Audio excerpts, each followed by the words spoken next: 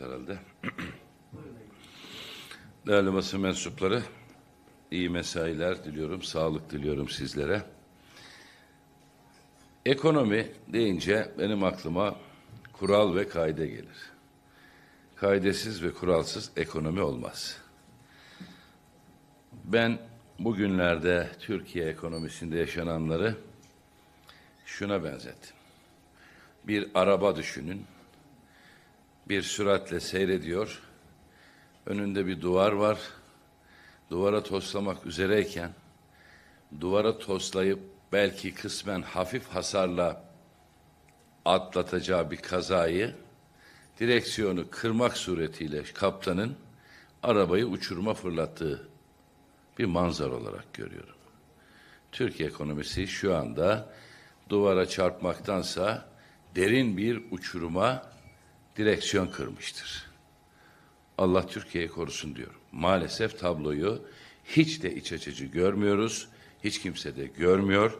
Bunun tabii birçok sebebi var ama en başında hiç şüphesiz devletin, devleti yönetenlerin liyakattan, adaletten ve ahlaktan uzaklaşmaları olarak değerlendirmekte mümkün. Üç hafta önce burada şöyle söylediğimi hatırlıyorum. Koca Akif yaşasaydı ne derdi demiştim ve Akif yaşasaydı bir inat uğruna Ya Rab koca devlet batıyor derdi diye söylemiştim. Halen tablo aynı. Devlet, millet 84 milyon büyük ve ağır bir bedel ödemeye zorlanıyor. Ne uğruna? Beyefendinin inadı uğruna. İktisat kurallarında vardır. İlk günah diye nitelendirilen dövizle borçlanma meselesi Türkiye'de zaten bırakın son yaşadıklarımızı sadece 2021 yılında dövizle borçlanan koca devletin kur farkından zararı bir trilyonu aştı. Bir trilyon nedir derseniz şöyle söyleyeyim. Mecliste geçen hafta bütçe yapıldı. Türkiye'nin bütçesi 1 trilyon 750 milyar. Sadece kur farkından, dövizle borçlanmadan kaynaklı, ilk günahtan kaynaklı olarak 84 milyonun sırtına bir trilyonluk bir yük yüklendi. Peki bu ilk günahtı. Bunun bir bedeli var. Ama ikinci ve daha büyük bir günahla devlet milletin karşısına çıktı. Devletin ve ekonominin ve Türk lirasının garantisi Amerikan doları oldu. Artık her şeyin garantisi, her şeyin endekslendiği belge Amerikan doları. Beyefendi de ne diyor? Çok yerli, çok milli. Herhalde bunların aklına yerlilik deyince Amerika'daki Kızılderililer geliyor. Onlara da yerli denir bilirsiniz. Erdoğan'ın yerlilik anlayışı Amerika'da Kızılderililere atfedilen yerliler anlayışından ibaret. Öyle anlıyoruz. Dolara Türkiye ekonomisini bağlamak ne demek? Dolara ekonomiyi, fiyatları bağlamak vahim bir tablo. Şimdi insanlık tarihinde zenginden alıp yoksula verme var. Bu var. Fakat zengi, yoksuldan alıp zengine verme resmi olarak çalıp çırpma zaten var ama resmi olarak devlet yoksuldan alıp zengine verme projesini ve projeksiyonunu hayata geçirdi. Şimdi Maliye Bakanımız, Hazine ve Maliye Bakanımız geçen tele gazetecilerle konuşurken ekonomi gözlerdeki ışıltı demiş. Kuralı kaideyi bir kenara bırakmış. Kendisi pozitif olarak gazetecilere böyle bir görüntü veriyor ve gözlerime bakın, gözlerimdeki ışığa bakın diyebiliyor. Şimdi ayın 20'sinde bir sürü insanın gözünde ışıltılar parladı evet. faturasını milletin ödeyeceği bir avuç azınlığın gözlerinde büyük bir ışıltı gördük. Ziraat Bankası Genel Müdürü'ne göre 1 milyar dolar. Bir başka bankanın genel müdürüne göre 1 milyar 750 milyon dolar para o gece döviz, o gece yüksek kurdan bozuldu. Şimdi 12,5 lira olan dolar o gece 17-18 liradan bozuldu. Bu ne demek? 1 milyon doları 18 liradan bozduran, mutlu, gözlerinde ışık saçan insan sabah 13 liradan doları geri aldı ve bir gecede 1 milyon dolara olan için söylüyorum 384 bin dolar artı bakiyeye geçti. Bunların gözlerinde ışık var. Bunu 1 milyar dolar olarak düşünürseniz o gece ayın 20'sinde Bakanlar Kurulu sonrası yapılan açıklama öncesinde ve ertesinde 384 milyon dolar birileri havadan para kazandı. Peki bu zarar, bu fatura kime? Bu da 84 milyona. Değerli arkadaşlar, şimdi birinci günah dövizle borçlanmaydı. Hatta sadece o değil, otoyol, hastane, köprü, havalimanlarının inşaatlarının döviz garantili olarak verilmesiydi. Döviz garantili geçiş, yatış, kalkış, iniş garantisi verilmesiydi. Şimdi vadeli mevduata döviz garantisi geldi. Bu da ikinci günah. Ve bedeli birincisinden çok daha ağır bir günah. Birinci günahın bedeli tekrar söylüyorum.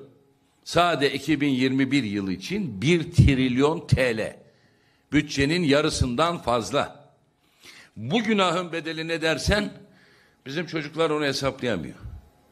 Bu daha büyük risk taşıyan bir günah. Şimdi peki dövize e, kur korumalı TL vadeli mevduata döviz garantisi veriyorsun. Adamın bankada parası var. Diyorsun ki sen bu parayı dövize çevirirsen hem faiz alacaksın hem kur yüksek olursa farkı alacaksın. Her şeyi dolara bağlı. Erdoğan asgari ücret de dolara bağlayıver bir zahmet. Emekli maaşlarında şimdi açıklanacak dolara bağlayıver bir zahmet. Memur maaşlarına yapılacak zammı da dolara ba bağlayıver bir zahmet. E pes ama yani. Burası bağımsız Türkiye Cumhuriyeti Devleti. Türk parası bu devletin ve milletin namusudur. Şerefidir. Bir ülke kendi parasını bu kadar ayaklar altına alabilir mi ya? Alınır da buna kimse itiraz etmez mi? İtiraz zor. Şimdi biraz sonra ona değineceğim. İtiraz edenlere artık Cumhurbaşkanı çok kaba, çok yaralayıcı laflar etmeye başladı. Değerli arkadaşlar, şimdi vatandaş mama alacak, un alacak, et alacak, süt alacak, ayçiçek yağı alacak, vergi verecek. Araba alacak, buzdolabı alacak, televizyon alacak, alabilirse vergi verecek. Kaç kişi yapacak bunu? 83 milyon, 84 milyon vergi verecek. Sonra ben bu vergiyi nereye koyacağım? Cebine koyamazsın. Allah bilir. Hazineye koyacağım. Koydum hazineye. E sonra bankalarda vadeli mevduatı olan TL ve döviz cinsinden insanlara diyorum ki dövizi TL'ye çevir farkı ben sana vereceğim. Nereden vereceksin? Hazineden. Kime vereceksin?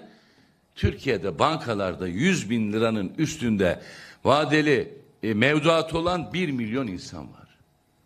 1 milyon liranın üstünde parası olan bankalarda da 360 bin insan var.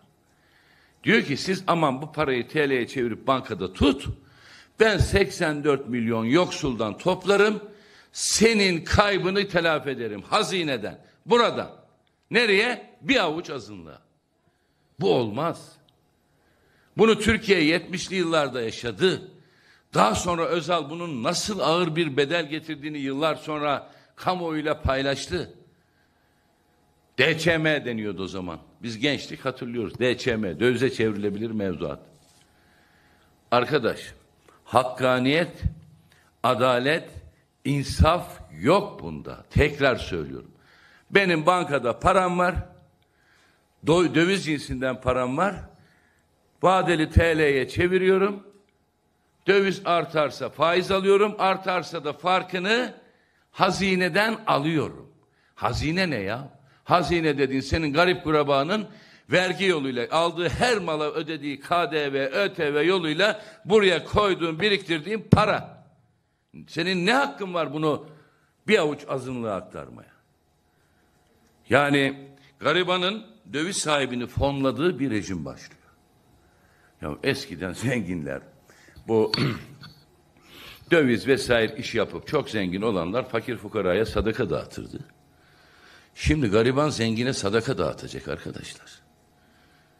Garibandan zorunlu sadaka alınarak zenginin zenginliği korunacak.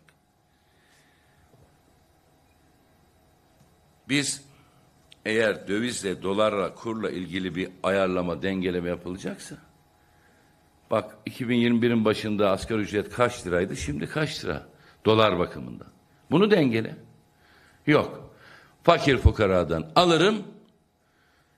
Bir avuç zenginin zenginliğini devam ettirmesine fırsat veririm. Yol veririm, imkan veririm. Ne uğruna? Kuru dengelemek uğruna. Böyle kur dengelenir mi? Böyle kur dengelenmez. Ben iktisatçı değilim. Ama tekrar söylüyorum. Ekonomi kural kaydı eşitir. Trafik gibidir. Kural uymazsan toslarsın duvara. Ya da uçuruma fırlarsın. Bunu bilmek için alim olmaya, iktisat fakültesini bitirmeye gerek yok. Bu manzara, bu yaklaşım zenginin zenginliğini korumak, fakiri daha fakir yapmak mantığıdır. Nas deyip duruyor Erdoğan. Dinin hiçbir emrinde, hiçbir ayetinde, peygamberimizin hiçbir sünnetinde zengini zenginleştirmek için fakiri daha fakir yapmak diye bir kavram ve kural yok. Hazine bu açığı nereden kapatacak kardeşim? 84 milyonun harcamalarından ödediği vergilerle kapatacak. Hazinenin başka bir geliri yok. Hazineyi millet doldurur. Hazineyi millet tamamlar. Çalıştığından, emeğinden, alın terinden vergi olarak, KDV olarak, ÖTV olarak farklı şekillerde hazinenin kasası dolar. Beyefendi de hazinenin kafasını, kasasını bir avuç azınlığa onların zenginliğini sürdürebilir kılmak için dağıtacak. Bu Allah'tan korkmamak, kuldan utanmamaktır. Şimdi Eylül 2021'de politika faizi yüzde 19'dan bugün itibariyle 14'e indi. Güya hani faizi indireceğim diye tuttu diye beyefendi. Ben soruyorum burada. Beyefendi faizi güya politika faizi olarak indirdin. Ticari kredi faizleri, tüketici kredi faizleri indi mi? Dolar yüzde 52 değer kazandı.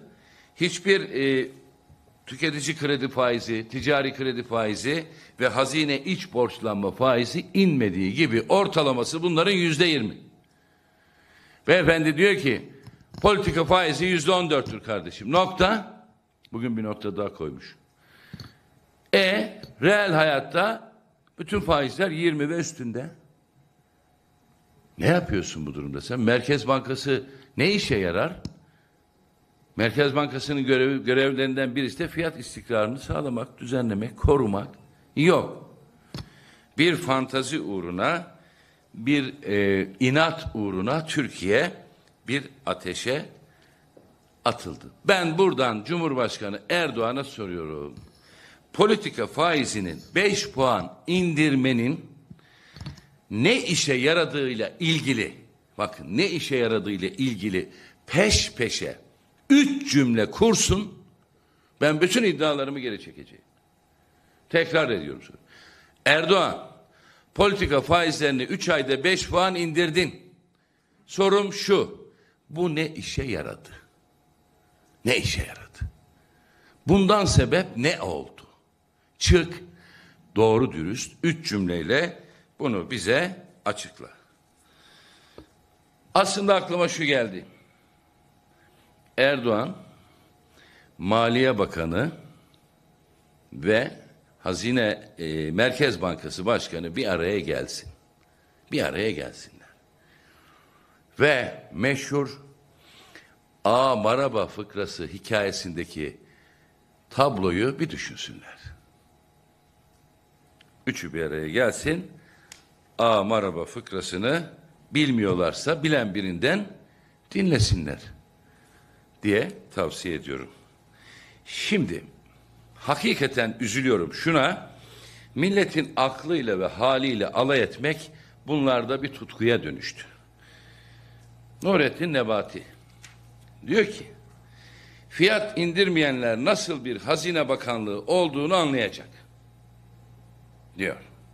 E dolar düştü fiyatlar insin.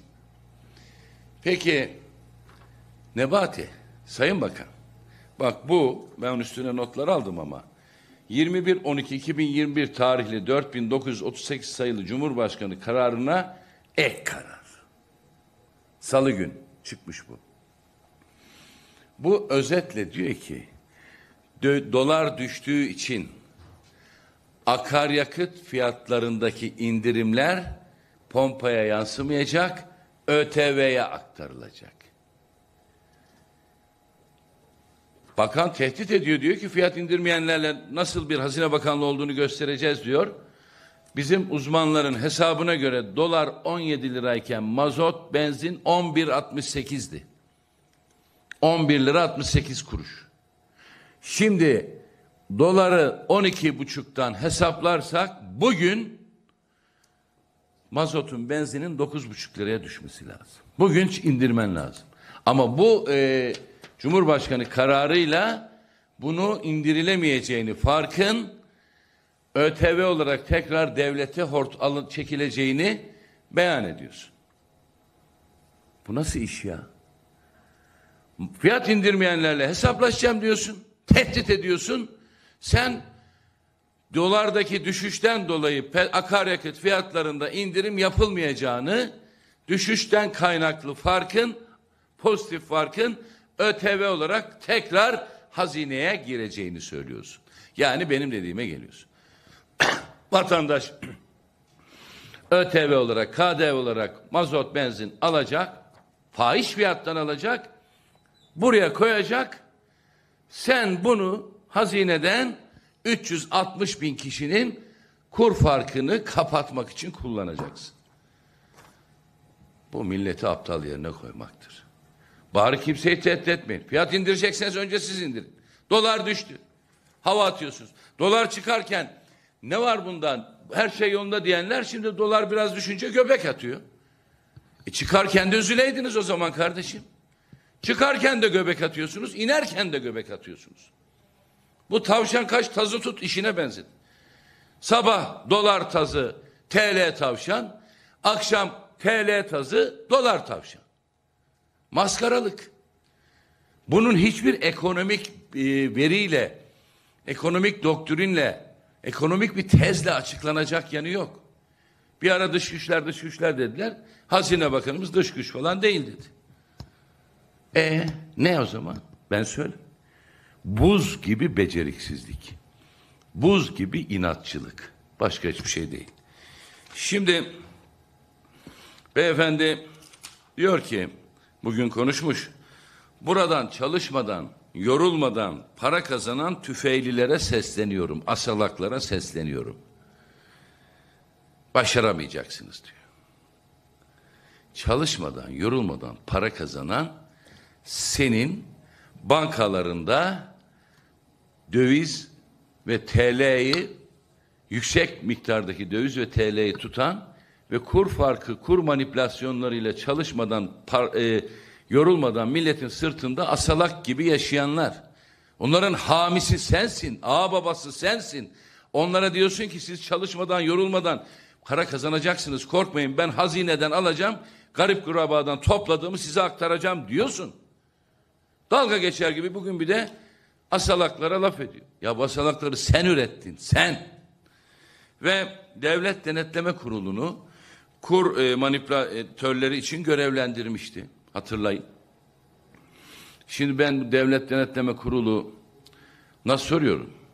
20 Aralık gecesi Ziraat Bankası Genel Müdürü'nün iddia ettiği 1 milyar doları 17-18 liradan kim sattı?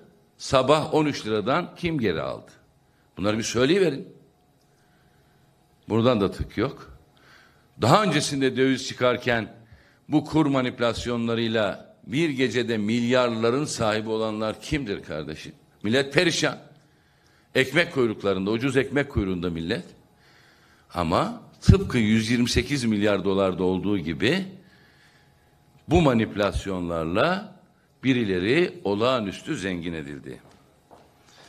Açıkladığım program, pazartesi açıkladığı program amacına ulaşmış. Erdoğan'a buradan soruyorum. Pazartesi açıkladığım program bir gecede Türkiye'de bir buçuk milyar TL'nin birilerinin cebine girmesidir. Bu yüz kişidir, bin kişidir. Ben bunu bilmem. Ama on bin kişi değil. Erdoğan'a soruyorum. Açıkladığın program başarıya ulaştıysa, ekmeğin fiyatı ucuzladı mı? Akaryakıtın fiyatı ucuzladı mı? Unun, yağın, tuzun, gazın, yumurtanın, biberin, domatesin fiyatı ucuzladı mı? Yok. Böyle bir şey yok. Değerli arkadaşlar, millet gerçekleri görüyor. Erdoğan kendisini eleştirenlere, kendisine biat etmeyenlere, kendisine karşı olanlara bölücü dedi biliyoruz. Hain dedi biliyoruz, işbirlikçi dedi biliyoruz, terörist dedi, cibilliyetsiz dedi. Ağız alınmayacak başka kelimeler de söyledi. Şimdi malum geçenlerde yeni bir benzetme yaptı. Kendisine karşı olanları, uyguladığı politikaları yanlış bulanları bir hayvana benzetti. Bu benzetme insani olmadı Erdoğan. Ayıp, edep dışı. Benim aylar önce belki bir yıl var Erdoğan'la ilgili yaptığım bir teşhisi bir kere daha doğruladı. Kendine karşı olanları bir hayvanın çıkardığı sesle ilişkilendirerek, benzeterek benim kendisiyle ilgili yaptığım bir tespiti bir kere daha doğruladı. Demiştim ki azmiyle çıktı, hırsıyla batıyor. Gücü kaybeden kontrolü kaybeder, itibarı kaybeden nezaketi kaybeder. Erdoğan maalesef bu süreçte nezaketi de tümüyle kaybetmiştir. Şimdi bu konuyla ilgili Merkez Bankası resmi gazetede bir tebliğ yayınladı. Ee, bankalarda döviz olanlar bakımından. Hazine Bakanlığı da böyle bir el ilanı yayınlamış. Birikimlerini TL mevduat olarak değerlendiren vatandaşların kurdaki oynamalardan etki, etkilenmeleriyle ilgili. El ilanı. Ya bu devletsin sen. Bunu resmi gazeteye koyacaksın bir. Daha koymadın. Bunu yasal dayanağını ortaya koyacaksın. İki, bence bunun için Türkiye Büyük Millet Meclisi'nden bir yasal düzenleme yapılması, bir kanun çıkarılması gerekir. Üç, burası Muz Cumhuriyeti değil. Bak Merkez Bankası her şeye rağmen bankalarda döviz olanlarla ilgili TL'ye çevirmeleri halinde diye bir resmi gazeteye kendi kuruluş kanununa dayanarak bir şeyler koymuş.